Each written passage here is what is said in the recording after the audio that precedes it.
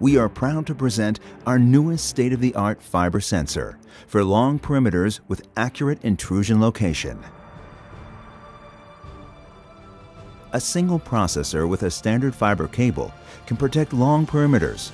These could be different types of physical barriers, such as welded mesh, chain link fence, top walls, and buried pipelines. The technology leverages the phenomena that when light travels in a fiber, a fraction of the photons scatter back to the source.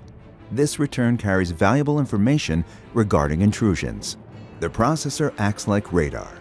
Pulses of light are transmitted, and in between, backscattered energy is measured and displayed, correlated to the time of travel.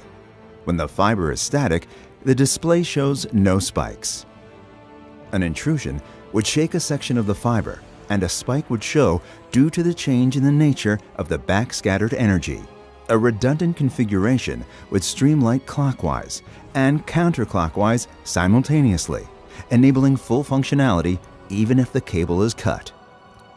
The extended range system for pipelines minimizes the number of infrastructure locations where equipment needs to be installed.